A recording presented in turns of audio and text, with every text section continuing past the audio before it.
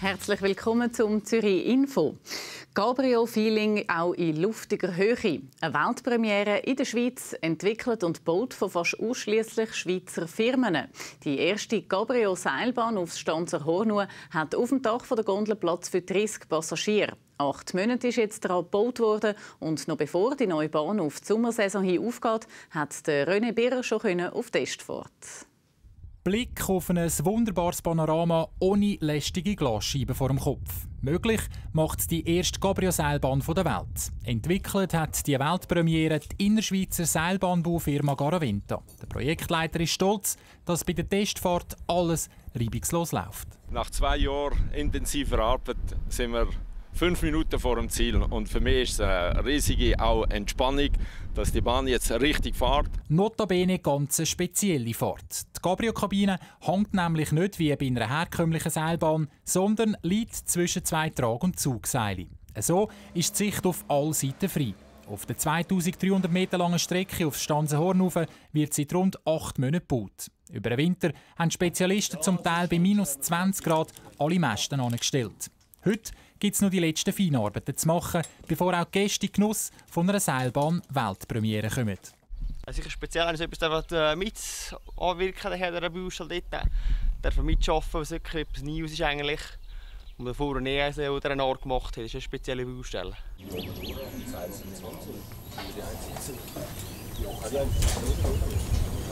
Neben dem Bau der speziellen Mästen war es für die Planer auch eine grosse Herausforderung, dass die Bahn nicht zu fest schwankt. Die Kabine ist voll besetzt, 16 Tonnen schwer. Wenn die Schwingen käme, würde es gefährlich. Das soll dank viel Technik aber nie passieren. Innerhalb der Kabine hat es eine Niveauregulierung. Sie sehen, wir stehen hier eigentlich oben an der Seile und die Niveauregulierung sicherstellen, dass die Leute hier nicht hin und her schlägt, wenn wir über eine Stütze fahren. Das ist eine riesige Anlage, die hier unten innen ist und äh, allein etwa zwei Tonnen wiegt. In gut sechs Minuten ist die Bahn oben auf dem Stanzerhorn.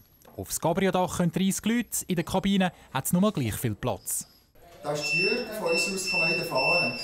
Merci, Schluss.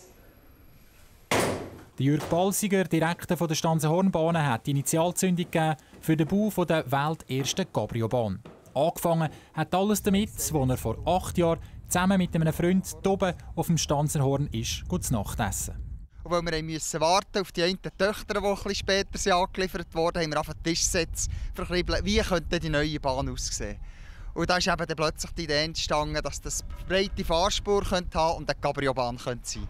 Und jetzt, acht Jahre später, läuft die Cabrio-Bahn. Seit 1975 hat hier eine herkömmliche Seilbahn Gäste auf Stanzenhorn und wieder ins Tal abgebracht. Die Bahnfahrt hat an dem Berg eine lange Tradition. Schon vor 119 Jahren ist hier eine Standseilbahn auf Stanzerhorn rauf.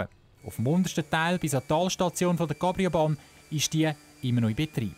Diese Bahn da hinten, das ist ein historisches Erbe, das wir dürfen verwalten dürfen. Ich bin glücklich, dass wir sie so original behalten, wie sie ist.